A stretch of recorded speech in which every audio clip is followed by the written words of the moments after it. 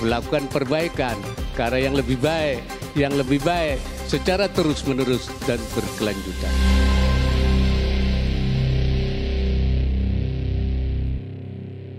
Pemirsa Nusantara TV, terima kasih Anda tetap bersama kami. Pemirsa seorang anggota Linmas yang bertugas sebagai petugas penertiban TPS 3 Desa Karangaji, Kecamatan Kedung Jepara, Jawa Tengah meninggal dunia. Sebelum meninggal dunia, anggota Linmas tersebut sempat menjalani perawatan di rumah sakit akibat kelelahan saat menjaga TPS selama dua hari satu malam. Seorang anggota Linmas yang bertugas sebagai petugas penertiban TPS 3 Desa Karangaji, Kecamatan Kedung, Jepara, Jawa Tengah meninggal dunia. Sebelum meninggal dunia, anggota Linmas tersebut sempat menjalani perawatan di rumah sakit akibat kelelahan saat menjaga TPS selama dua hari satu malam. Selain satu orang meninggal dunia, KPUD Jepara mencatat ada 16 penyelenggara pemilu menderita sakit. Di antaranya dari anggota panitia pemungutan suara, kelompok penyelenggara pemungutan suara, serta petugas penertiban TPS. Dari keterangan Ahmad Solihan, adik ipar korban, Muslihun sakit diduga akibat kelelahan saat bertugas di TPS selama dua hari satu malam. Sebelum bertugas, keluarga meyakini Muslikun dalam kondisi sehat. Sejak pagi, eh, semalam, satu hari lagi. Di, jadi dua hari satu malam. Kita sempat dirawat di rumah sakit berapa hari? Satu malam, ya satu hari satu malam. Sebelum berjaga itu kondisinya sehat atau gimana? Kelihatannya sehat. Ya saya sih nggak tahu kalau ada keluhan-keluhan sih nggak tahu. Memang saya lihat tuh kondisinya itu ya sehat. Itu ke- kemungkinan apa? Faktor kelelahan atau gimana? Ya mungkin ya kecapek lelah lah. Sementara itu dari data KPUD Jepara, selain satu orang meninggal dunia, sebanyak 16 orang dinyatakan sakit akibat faktor kelelahan saat bertugas. Dari 16 penyelenggara pemilu tersebut di antaranya merupakan anggota panitia pemungutan suara, kelompok penyelenggara pemungutan suara, serta petugas penertiban TPS. Ya, sampai dengan sejauh ini, sejak pemungutan suara tanggal 17 April 2019, kami telah menerima laporan dari penyelenggara pemilu di Kabupaten Jepara, khususnya yang di tingkat KPPS, itu sudah ada 16 orang yang sakit, dilaporkan ke kami, dan satu orang meninggal dunia. Mereka yang sakit itu karena faktor apa? Kelelahan atau gimana? dari hasil apa namanya laporan yang kami terima memang mereka kebanyakan karena kecapekan karena memang tugasnya itu melebihi dari jam kerja normal Terkait penyelenggara pemilu yang meninggal dunia maupun yang sakit, KPUD Jepara melaporkan ke KPU RI melalui KPU Provinsi. Dari Jepara, Citizen Jurnalis melaporkan untuk Nusantara TV. KPU mulai menyalurkan santunan kepada keluarga anggota kelompok penyelenggara pemungutan suara yang meninggal dunia. Penyerahan santunan dilakukan langsung oleh Ketua KPU Arief Budiman kepada keluarga korban. KPU mulai menyalurkan santunan kepada keluarga anggota kelompok penyelenggara pemungutan suara yang meninggal dunia. Penyerahan santunan dilakukan langsung oleh Ketua KPU Arief Budiman kepada keluarga korban. Salah satu tempat yang didatangi Arief yakni rumah korban Ketua KPPS TPS 25 almarhum Tutung Suryadi di Tangki, Kecamatan Taman Sari, Jakarta Barat.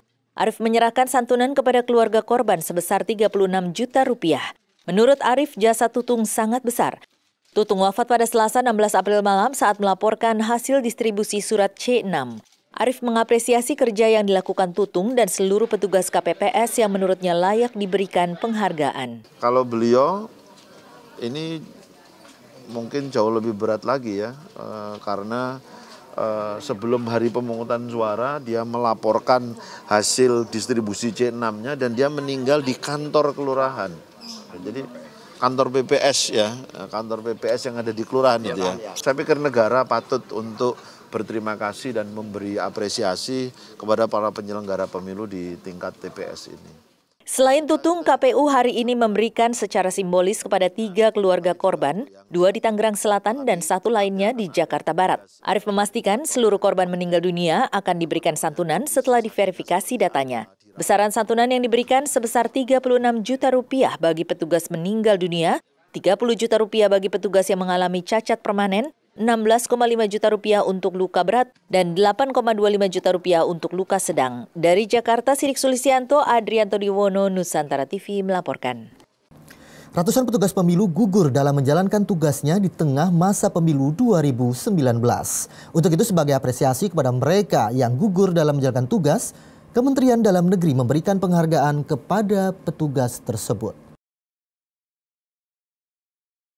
Ratusan petugas pemilu gugur dalam menjalankan tugasnya di tengah masa pemilu 2019.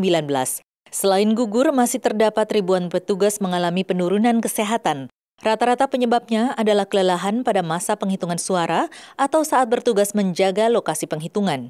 Untuk itu, sebagai apresiasi kepada mereka yang gugur dalam menjalankan tugas, Kementerian Dalam Negeri memberikan penghargaan kepada para petugas tersebut.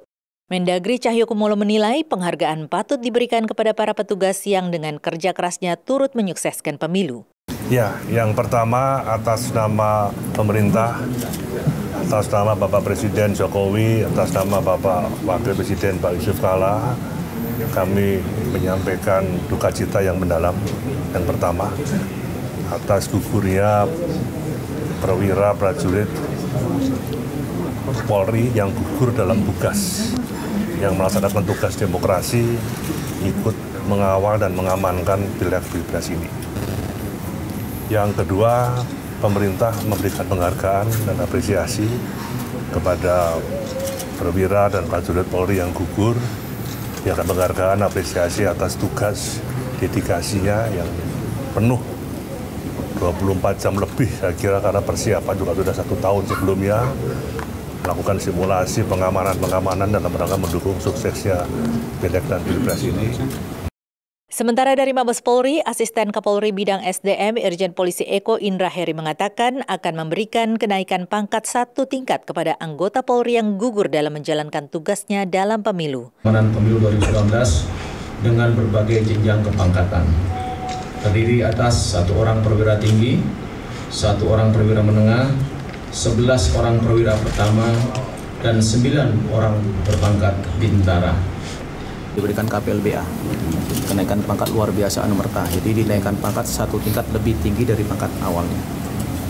Semuanya ada 22 orang itu sudah mendapat KPLBA Rencananya untuk menghindari jatuhnya korban pada pemilu mendatang, pemerintah akan mengevaluasi pelaksanaan pemilu. Dari Jakarta, Amelinda Zaneta, Tri Iswanto, Nusantara TV melaporkan. Pemirsa jangan beranjak dari tempat Anda, Pojok KMA akan segera kembali setelah yang berikut ini melakukan perbaikan ke arah yang lebih baik, yang lebih baik secara terus-menerus dan berkelanjutan.